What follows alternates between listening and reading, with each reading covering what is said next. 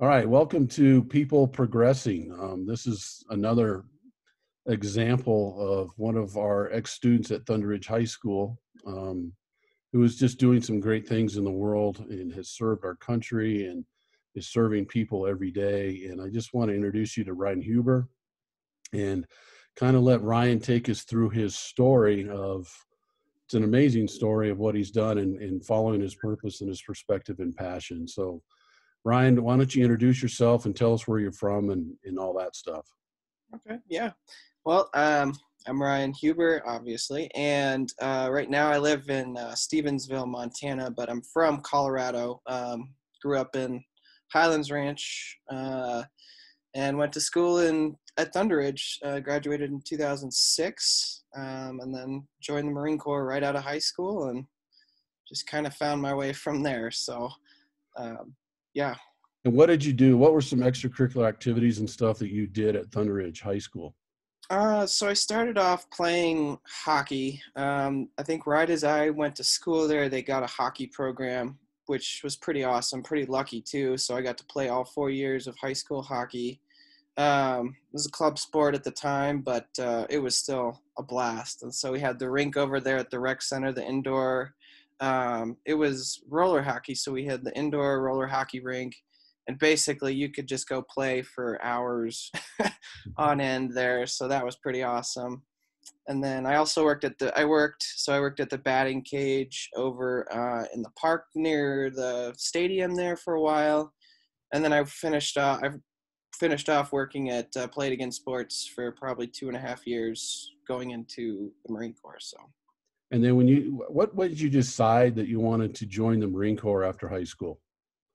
Um, I just felt like I I was already signed up to go to college and had my dorm and all that stuff picked out. Um, and then you know I never had a forethought about doing it.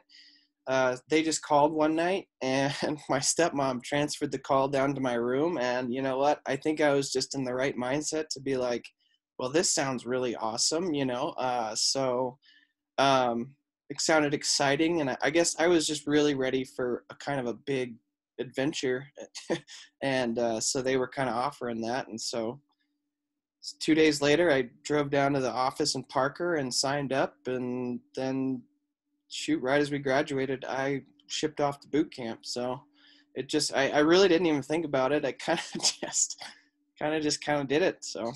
And take me take me through your mindset a little bit about uh, that first night that you went into boot camp and they drive you up and you get out of the bus and you're now in the Marine Corps and it's now real.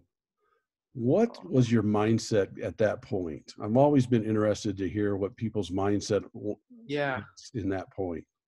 I let's see. I showed up um, airplane ride over, you know, is kind of it's a little bit of nervous anxiety. You're not not really sure what to expect. I mean, they kind of had videos and stuff back then, but like, I mean, we didn't have smartphones at the time, so you're kind of you you hear what you get from people and uh, the recruiters and stuff like that. And so it's kind of you know nervous energy, and then um, you know we show up at the airplane terminal, the gate there, and it like literally starts from there. Like you kind of you go straight to your your your area where where they gather you up and then i mean it was kind of immediate chaos and so you know you're you're driving on the bus over there and there there's they're telling you to keep your head down and then you, you're just waiting for it to happen and you know that they're just going to come onto this bus and just start screaming at you. So i was at that point i think i was pretty terrified because i just was you know completely unsure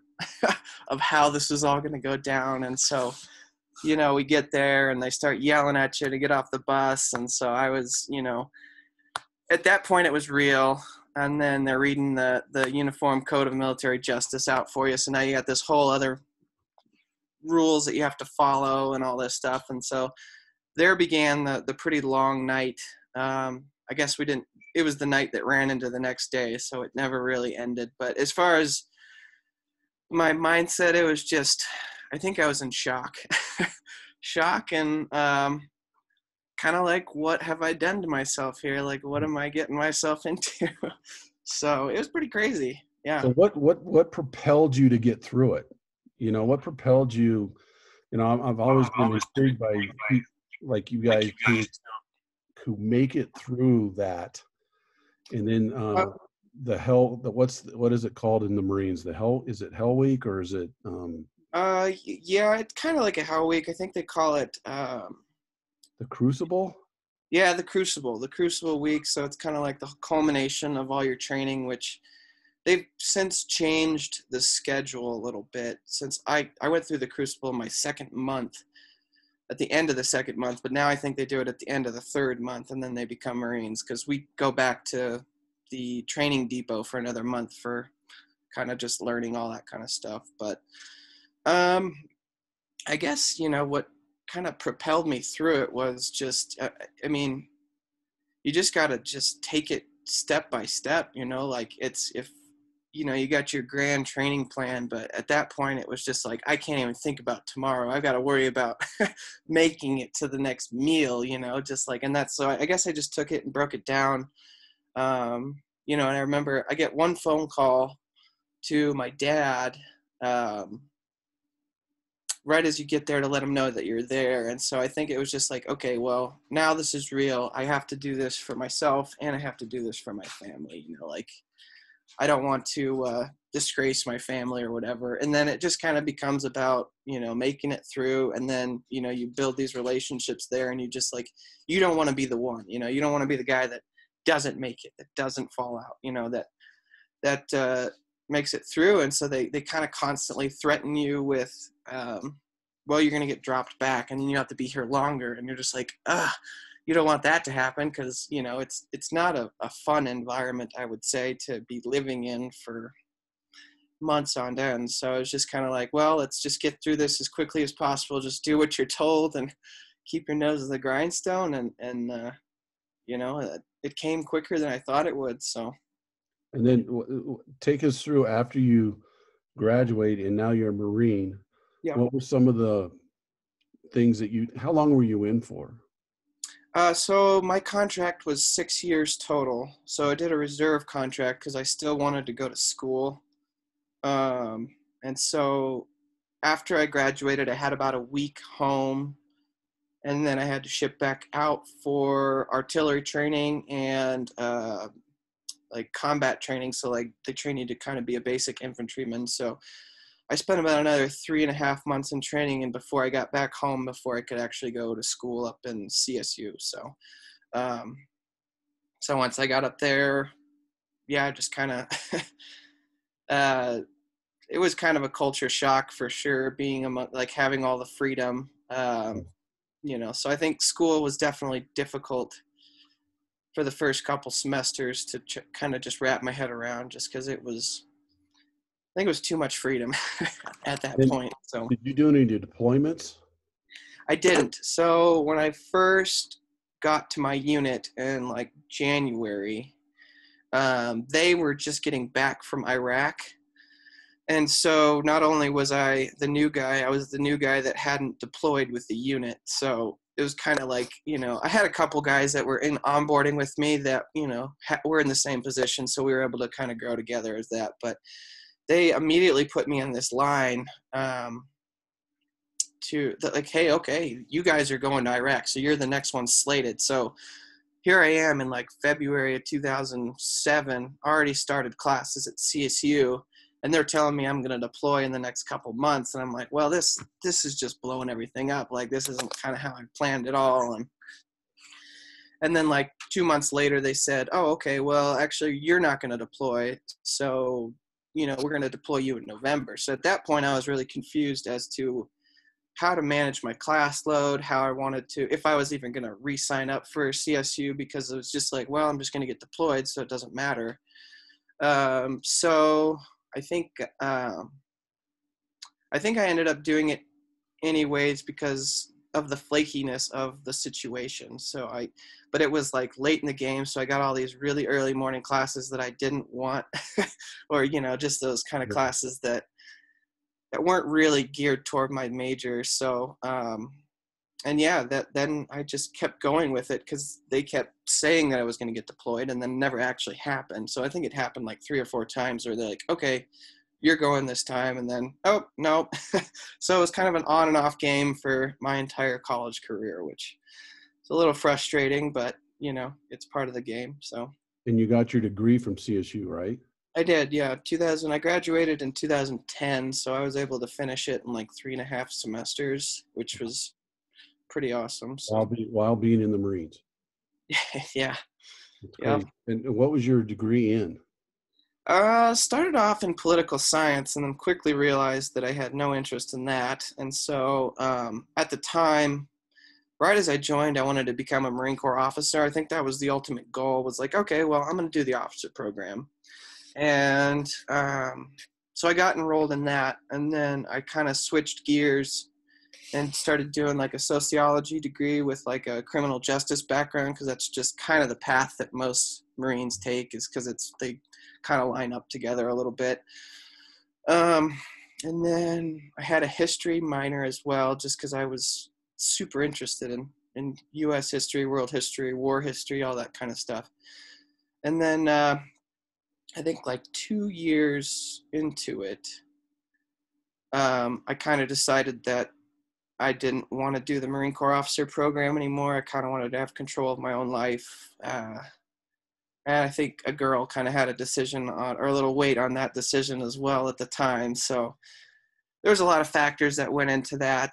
Um, and then I kind of went from there. So I dropped out of that program, but I finished my enlistment through um, through the unit I was already in. So and then tell us, take us a little bit after um, CSU. Is that when you got into the fire, fire, firefighting?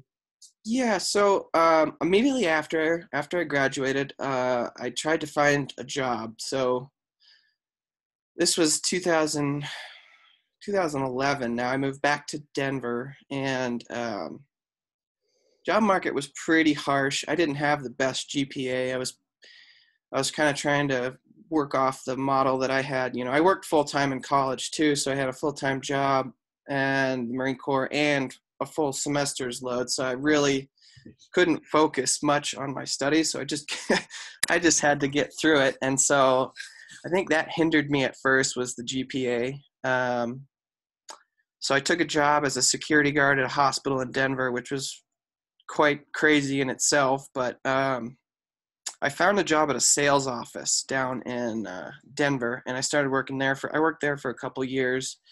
I really didn't want to work there. Uh, it just was like it felt like this was professional. I need to be a professional, you know, all this kind of stuff. And after about two and a half years there, I kind of was just like, um, I think I was like 25, 26 at this point. I was like, this can't be my life. You know, this isn't, you know, I'm not I'm not, I don't want to sell things. I, this just isn't what I want to do, you know? And so I think it was like 2013, Colorado had a really big fire year uh, with the Black Forest fire in Colorado Springs. And I think there was one up in Fort Collins too. And, um, you know, I just decided, I think things had kind of started to fall apart with my relationship and uh, home life and my job life. Nothing was coming together and so that kind of all came to a head and then um, i moved back in with my parents. So i was living in my parents basement in roxborough and commuting all the way to downtown denver to go to work every day.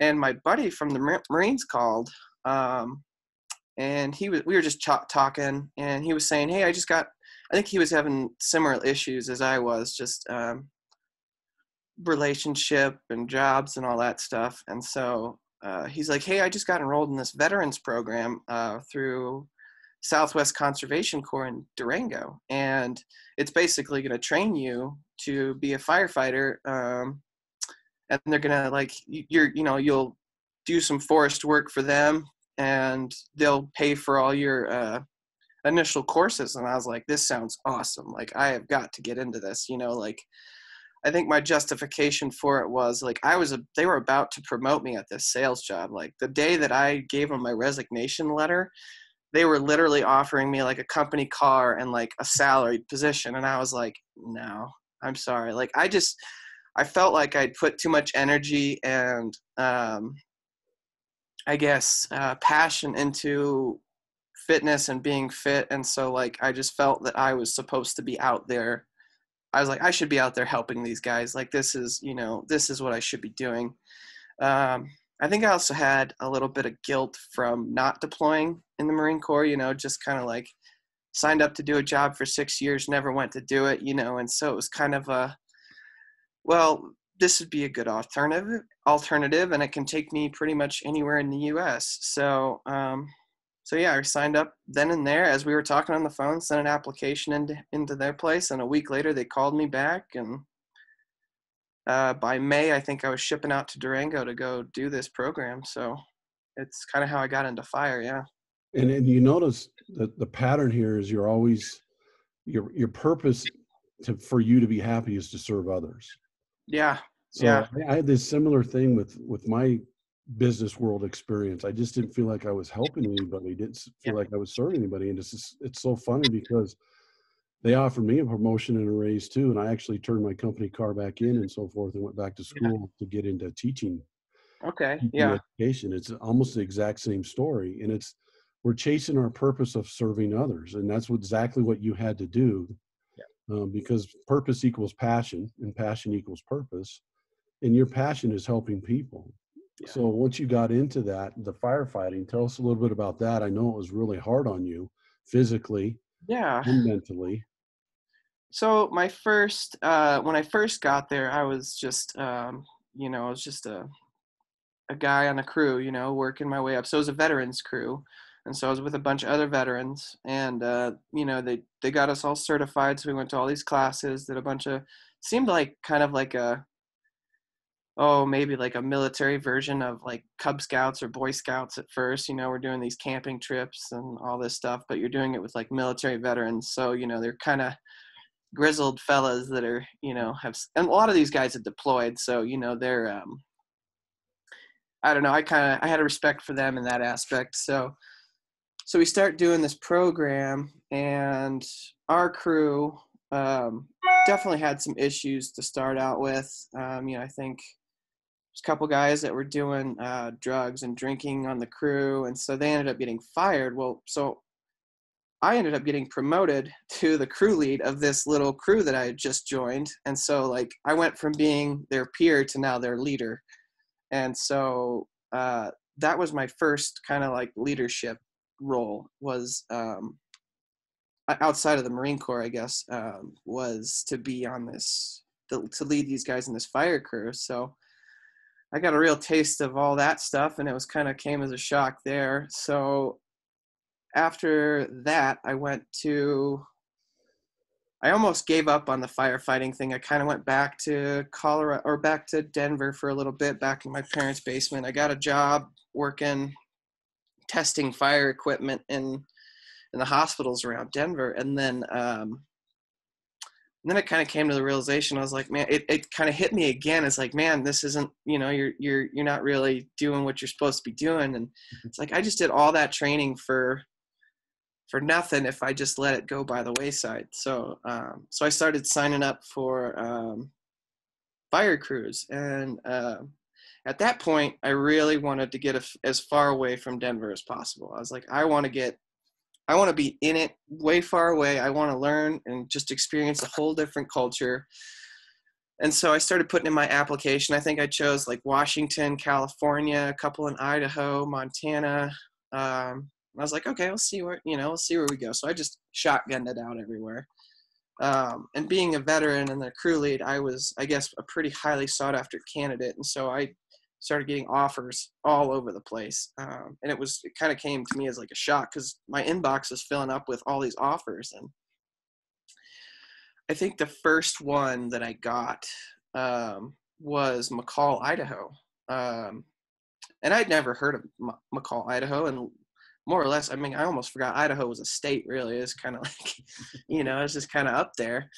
And so I joined this crew, and um, lucky for me, they had a one of the most gorgeous ice hockey rinks that I've ever played in, like in this little community. And it's like they have ice all year round, and they barely like it gets used in the wintertime, but the summertime it just kind of sits there, and people, you know. So I got to play hockey and. Uh, go fight fire in McCall, Idaho, and it's it's where I met my fiance. She's a former firefighter as well, and just the environment was awesome. Like it was everything I was looking for. It was just like I mean, I was living in my car for a little while. Um, you know, I drove my whole life up there in this 4Runner. I bought a 4Runner right before I left, so I could just kind of live in it if I needed to. So I just went on this like grand adventure and, um, you know, living in truck stop parking lots for a while and then bar parking lots wherever i could just get a place and i remember the first day i showed up i didn't know anybody and i, I didn't have i wasn't going to be able to move into the barracks for a couple days so i just you know I, the first day i pulled in i went into the brewery I was like, I'm just so scared and nervous like right now. So like, cause it was like nighttime in the middle of this town. And so I was like, I had had a few drinks, just went to go take pass out for a little bit. Cause I was just so nervous to start and be in this new town and just not know what to do. Um, and back was, to your Marine days.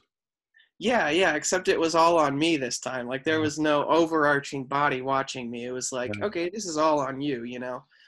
And so, um, you know, I had a, I budgeted a little bit of money to do all this, but it was a pretty limited amount. And so I was kind of like, all right, well, let's see where it takes this. And so I don't think I got paid until like three or four weeks into our first fire season.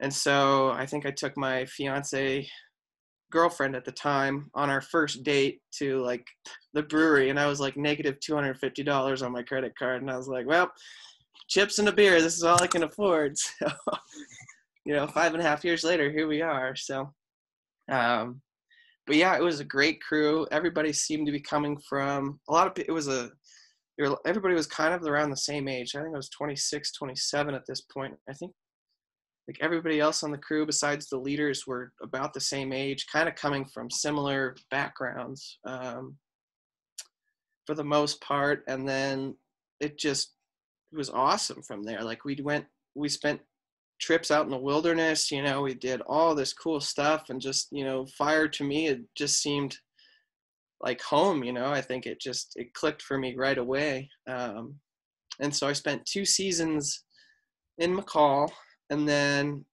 i got a little antsy and so that's kind of i was kind of on like a uh, it was a fire module so it was like a 10 person fire module um, and i wanted to kind of take it to the next level. I also wanted to earn a little bit more money. So like the next step up was like I don't know if you guys have heard about Hot Shot Crews. Yeah. Um, and so I was really nervous to do that uh, because I knew what it entailed. I knew that it was going to be like constant fire all summer long. So you basically show up in April, late April, and you don't leave until October sometimes. So like first couple weeks in October. So so I was really super nervous about that, but I knew that I could, you know, get myself in shape to do it. And so I kind of put myself, I think by this point, back up a little bit, um, I ended up moving up and living with my girlfriend who was going to school at the U- University of Idaho in Moscow. Um, and so I was living there, working at uh, Northwest River Supply, which is based out of Moscow for some reason. and uh, so that's what I did in the off season. But I also got my EMT um, while I was working up there. So just because it was going to help with my fire career, and I just helped me more, make me more marketable, I guess, um, and maybe even work work onto like a department crew. Um, and make a little more money, get a better schedule. So, but that never actually really uh, happened. So, bump forward, I go to the Hot Shot crew. Um, I got picked up by Lewis and Clark Hot Shots, which is in Great Falls, Montana. And, um, you know, for I knew that Hot Shot crews don't really uh, don't really have they don't stay in location very long. They kind of, they're out on fires every two weeks. So two weeks home, or two weeks away, two days home, two weeks away, two weeks home. So it just kind of was that schedule. Um, so I didn't rent a place in Great Falls. I just outfitted my 4Runner so I could live in it for the entire summer, which was awesome, but definitely, definitely a shock to the system at first because you know you're living in this this uh, town. Another another situation where you're living in this town again for um, just kind of brand new area, not not knowing where it was. And Great Falls isn't the nicest town, I would say. it's kind of out in the middle of Montana, and uh, so so yeah, I did that, and we ended up I ended up living in the car for a month and a half before we went on our first fire, which I did not expect. I figured we'd be right out the door, but after our first fire, Montana just blew up, and so we stayed busy. And I think I did 980 hours of overtime alone in four and a half months. And so it was just hopping, just busy, busy, busy, and uh, definitely a shock to the system. It was uh, it was a lot. so it's just kind of working through that, and then um, then they picked me up the second year. I picked up my my permanent position on their crew the second year, and that was a senior firefighter position. And so at this point, I was three or four years in. This would be my fourth year in fire now. Uh, and I was going to be on the lead saw team. So I was kind of like, there's three saw teams usually on a hot shot crew, and those are kind of the, you know, you carry the most gear. That you guys are like the, I guess the, um, the first guys to start, you know, doing line because you got to clear all that stuff first before the dig crew can come through. So I was now on the lead saw team going on a hot shot crew for the second year. And uh, so I did that, and we I think we did 1,100 hours the second season. Um, so right after our, for our two weeks of initial training, we went right out the door. And so we were in Minnesota, we were in uh, Washington, Montana, Idaho, and I think we went to Colorado and Utah for a stint that summer. So it was kind of crazy, just you know, busy, busy. Um, and the mental and physical effects, I think, started to kind of kick in a little bit for me then. So, um, yeah, people, I don't think people realize the mental aspect of of that. The physical part is just yeah. incredible. Yeah. But the the mental f- effect that it has on you is is what I think that's what people overlook is how hard it is on you or yeah. on the firefighters doing these fires. And that kind of led you to the next chapter. And, and through this whole process of, of where you're at now, you're always pursuing your passion. You're always pursuing a purpose that's greater than yourself. And that's what I love about your story. Yeah. And you're also never afraid um, to take a risk. You know, you could have very easily stayed in that job um, right. I, I, tell people all the time 70% of Americans are disengaged at work. Yeah. A lot of those people are, are they're afraid to get out of it. They're afraid to take a risk and, and move on to something else. And um, you're certainly, you know, somebody that is is pursuing your passion all the time. And if you're not helping others or serving others, it drives you nuts. And um, that's what I love about your story. So that firefighting took you to where you're at now, um, which again is serving a higher purpose than yourself. And why don't you tell us a little bit about what you're doing now? Yeah, so um, I guess to kind of conclude on that, um, uh, after the two hotshot seasons, I went to a helicopter crew my last year, and that's in the Bitterroot Valley, here where I live now. And uh, it was like a giant change of pace, which was good because it was, you know, it was a little bit better work life balance. But then I got super bored with it because it's just it's it wasn't as constant as it like you weren't always on fire. You're doing a lot more, you know, just mundane forestry work, and so that led me to um, I had an opportunity to go build uh, alpine roller coasters, which I thought was just super awesome. And I was like, this is this is awesome. I mean, back up just a little bit. My first off season after that is when I started coaching hockey, and the reason I started coaching hockey um, was because my first my first three off seasons that I had is it's basically like being retired. You know, you you you get done with all this. You have this giant chunk of money. You got to go relearn how to live a normal life with your significant other, which is a chore in itself because you know you haven't seen each other for three and a half months, and now it's kind of like you have to relearn how to integrate your lives. But then you know you have all this free time, and um, at the same time, you know, you're trying to like balance how do I how do I live like this? You know, how, you don't really want to go get a job because it's going to be for a short period of time. Um, but I don't really want I I don't want to take unemployment because I felt wrong about it. I did I did take it for a couple winters just because like especially after the hot shot seasons I was so burned out I didn't I just I, I I needed to earn some sort of money. So I didn't feel great about it, but um I did it anyways and um so I when I moved to the Bitterroot Valley, I found this opportunity to go coach youth hockey in Missoula, and they were looking for travel coaches. It, they touted it as a volunteer gig, so I was like, well, I mean, I've got enough money. I don't really need the money, but it'd be something to like keep me busy uh, during the off seasons. And so, um, so I started coaching, and I didn't know. I mean, I've played hockey pretty much my whole since middle school, um, and so I know how to play but like learning how to coach and coach kids was just a totally different experience i guess um, so i i was picked to be the assistant coach on the bantam b team which is like 13 14 year olds um, and so they're the b team so they're the the team that didn't make a essentially so and the coach the head coach i was with was um, he's from california he was a pretty hard hard hard driver like he was you know pretty stern about everything you know uh, real rigid and so but he he knew his his stuff so like he was like a student of the game like he he studied all this stuff i just think like so i really got to learn how he managed the game and how he taught so i, I really kind of just i started managing like the conditioning side of it my first um, season because he's like how are you with dry land stuff. And I was like, well, I mean, I used to run workout programs and, you know,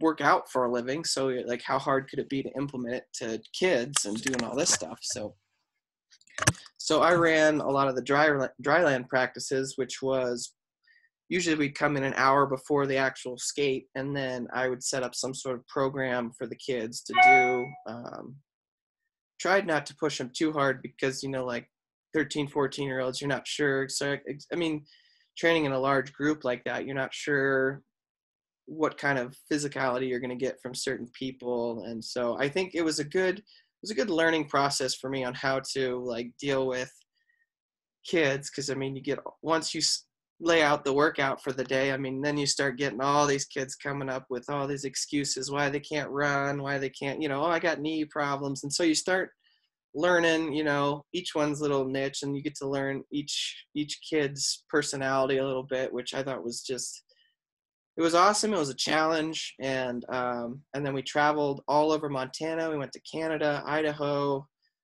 um, for hockey games and then we were just you know i think we practiced three or four times a week um, and yeah so that's how i started getting into the coaching aspect and then like i said i went to i had the opportunity to go build roller coasters for a little bit um, and i started doing that. I did that because um, I, I knew i wanted to get out of fire because i just started getting burned out. I, I felt like i wasn't serving the purpose that i was you know that i initially signed up for. It just seemed like i wanted to either do it full scale or not at all you know i didn't want to do this halfway type stuff that you know i don't want to take credit away from the firefighters that do that. It's just i felt like I could be doing more. Um, so when I went to start building roller coasters, they I was able they taught me how to weld, they taught me how to use like giant tools, and then I went out there and I started running crews on my first my second day. they had me running like these little crews out in California how to um, you know I, I didn't know how to build a roller coaster. It was kind of like learn on the job and then you know I, I don't know if you work for construction companies, you get kind of people that like basically come and go, and you're never sure who's going to show up to work. And so basically, I was hired to be a crew lead for these guys. So whoever showed up, I would take these guys, and then we'd go out and build the roller coaster for the day. Um, and you know, it was it was a it was a challenge. It was uh, it was fun. Um, but I think it, it just a lot of the things that the people and um, the mission just didn't hit a lot of things for me on like core values. And so you know like every day after work like these guys would just go out drinking. Like i i don't really i mean i'll have a beer here and there but not every day after work. Like it's just like so i kind of just felt pretty uh, isolated there. Um, as well as like we were in california and this is right when the coronavirus hit. And so like we're locked down and uh, that's really that there is to do is like you hang out with these dudes that just drink and drink and drink. And i was like well this isn't quite what i expected you know and uh and the schedule was a month on a week home month on. And i was just i was tired of being gone for that long. And i think that's i just was like well i want to be there for my family. I want to be there for um, just I, I would rather be serving some other sort of purpose. So so I told him I, was, I wasn't going to do that. And then I found a job immediately as we got home, uh, delivering sprinkler parts for the summer, which got me through uh, the summer, but it allowed me to stay home. So I, I think I started that in June and I finished that. I went through August just delivering stuff. So I was driving like eight hours a day all across the state just delivering these parts. But um, I was also running dryland training for the kids um, because like when we moved here it just felt like i didn't have a, a, group or a family and these these kids and this hockey stuff it, like really like we became like a family a hockey family and it was awesome and just like so like when it ended in april i was like man i want to stay connected to these kids like i want to help them out you know especially they're on the b team they want to make the a team next year and it's like so i threw it out there i was like hey i'm going to run like conditioning once or twice a week um, as my schedule allows. And so, you know, and I just threw that out there to all the parents. And I think I had four, at one point, I think I had six kids one week that came out. And so I just set up like workouts. So I ended up buying a bunch of like just Walmart gym equipment. And there's this, there's this park down in Missoula that we just, I'd have them meet me there after I got off work. And we'd start running and then we'd just i'd set up workouts and so it kind of fluctuated but i usually had like a core of three to four kids throughout most of the summer um, that showed up. And then for like the last month there um, one kid it was one kid that showed up um, and it kind of turned into like a one-on-one training uh, so like i really got to which I started to love because I think it was like maybe July I started to realize I was like I need to do this for a living because I love this stuff. And so that's when I signed up to for just the personal training certificate to just like all right, let's get it let's start there. Let's start there. So I was working full time and then training this kid and then taking class taking the class on or yeah online. So I was, you know, I had a pretty jam-packed schedule trying to fit all this stuff in um, and I realized that I just didn't have the time to do as much as I wanted to. Um, and so another crazy twist happened is that the show, the TV show Yellowstone works is like in this valley. And so they came in here to do some work or film the season four. And, you know, I was like, oh, that'd be kind of cool. So I just kind of like sent them a picture and then like like three days later they called me like hey do you want to be a part of the crew? Like you're going to be you know basically standing in for these actors when they're when so like they'll they'll rehearse the part and then you go stand in where they were standing for lighting and all this stuff. And i was like that sounds awesome. Like i'm going to be working on a giant tv production. Like this will be sweet. Um and i got there and it was just like it was intense. Like you you know it's like you're meeting all these people like you know well there's kevin costner like there's all these people you you see you know? And so and then you're working with these people. And then um but then i realized is like well okay this is this is another job you know? You kind of get to see how their world works which is vastly different from anything i've ever experienced.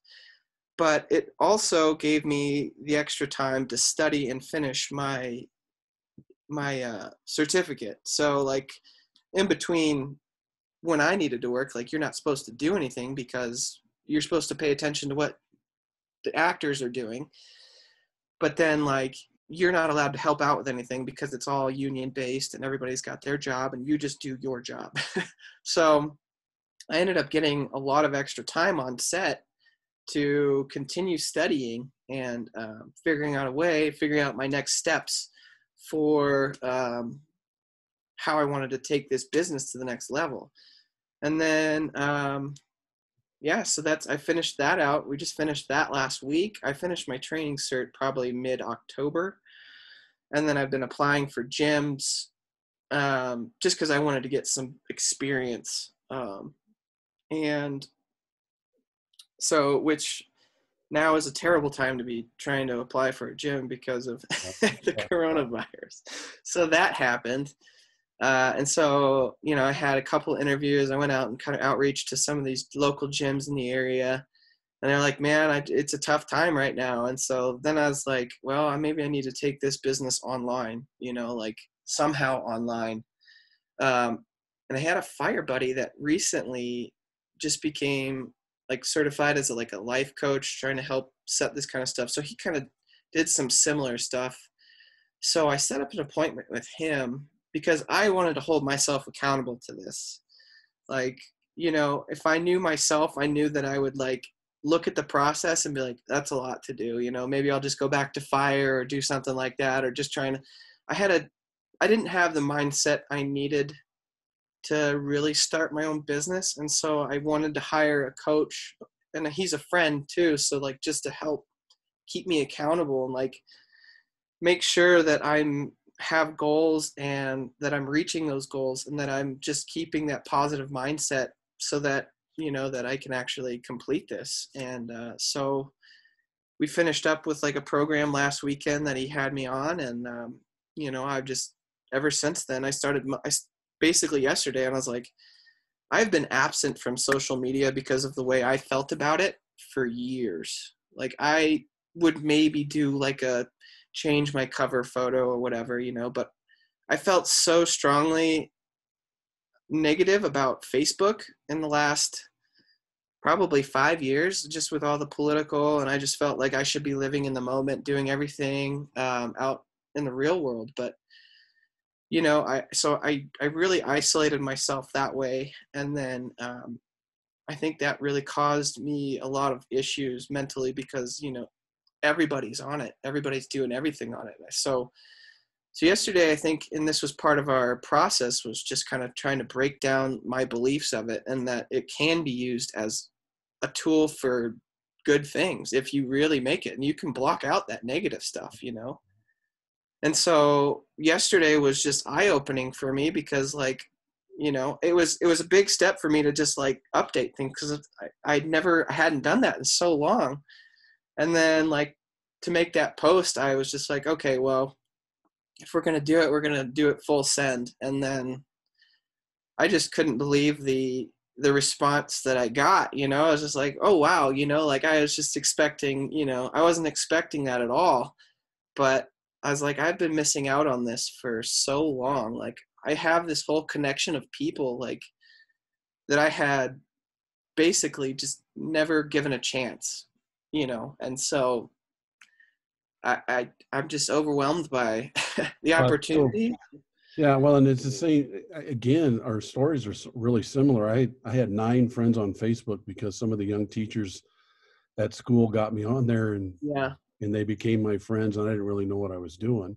And then I wrote my book and my chiropractor really liked my book and he wanted to do an interview with me on Facebook Live.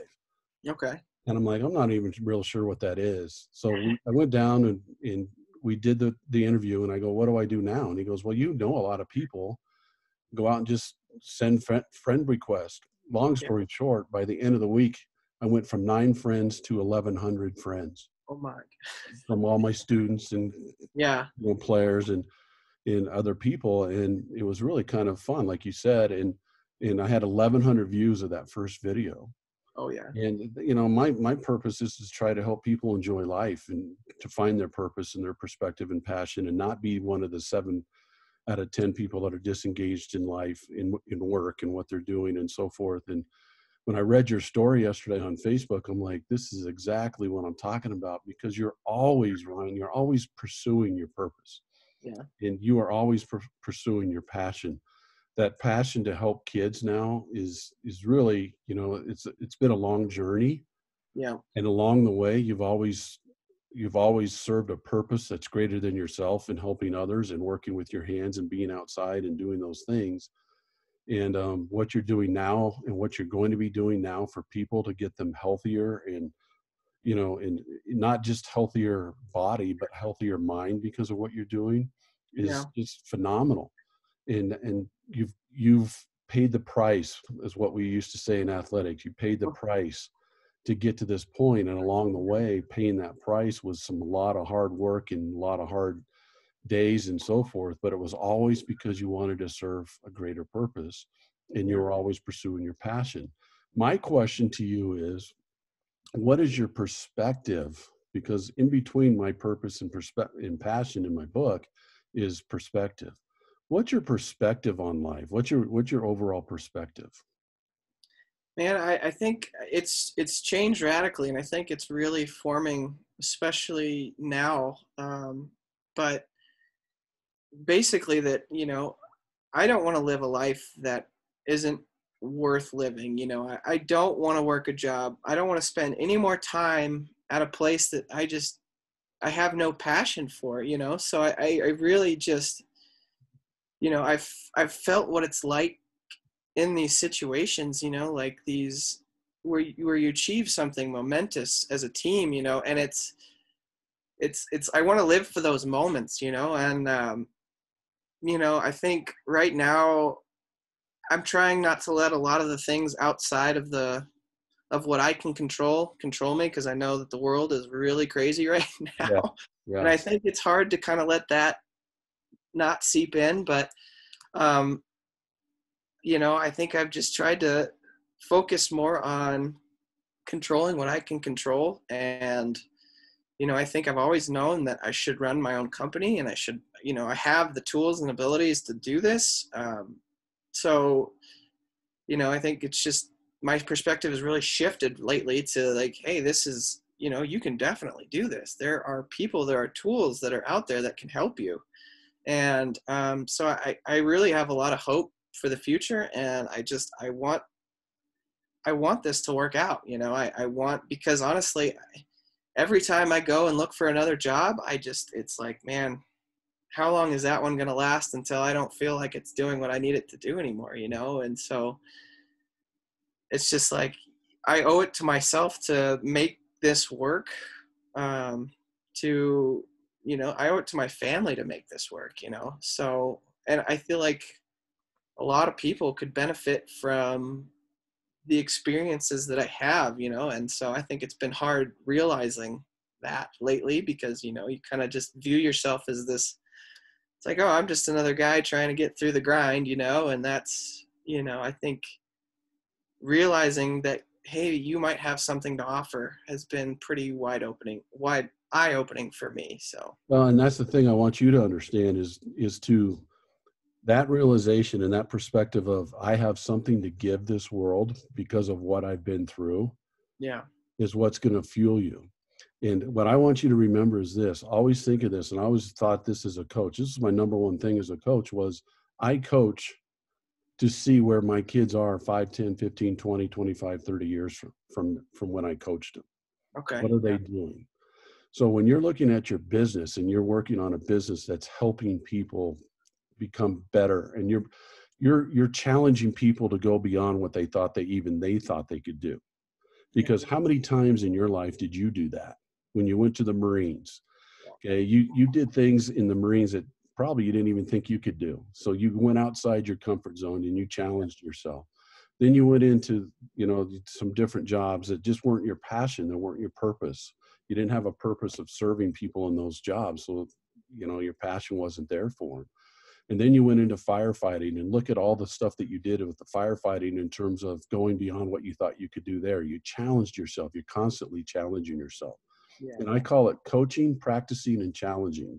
So what i what i my my advice is coach them up you know when you're when you're doing your training and stuff you're coaching them you're coaching them how to do the lift you're coaching them how to do the drill that you want them to do and so forth then i want you to practice them like crazy just practice and go go over those drills and stuff over and over and over with them so they get better and then after you've coached them and practiced them you challenge them all the time just like you challenged yourself all the time because yeah. they way the way that they grow to get better so that they can take on life's challenges like you have 5 10 15 20 years down the road as you challenge them every day on what you're teaching and coaching them what you're coaching and, and practicing them in. Now you challenge them in those things. I used to have a saying that i used to make practice hard so games were easy. Yeah. We want to make what you're doing challenging and hard so that when your people get out in the real world it's going to be a little bit easier. They're more prepared more equipped to take on what life's challenges are going to be and that's exactly exactly what you've done. And that's exactly exactly what you're going to do with your next venture. And that's why i'm so excited for you when i when, when i read your post last night. I'm like man this is awesome. Yeah. because again as a teacher you know like 5 10 15 20 years from now look what you're doing from when you came out of thunder ridge into what you're doing now and all you've been through yeah. and all the challenges you've gone through and all that and now what are you going to do you're going to pay that forward and you're helping others with those challenges and so forth so i just commend you on it why don't you tell us what the name of your company is and the name of your business so we maybe get you some clients up there in montana or maybe even some down here you can do it online yeah yeah um, so I just started it. Uh, it's I just used Huber Athletics because you know I think I wanted to uh, honor my family. You know, they're I come from a long line of uh, very well accomplished Hubers, and so I think it's kind of like, well, why not make that the forefront of it? You know, um, and yeah. So I think my biggest focus um, is is I'd like to do athletic training, uh, like w- with the kids out here, I think I, I can really make a difference because there's just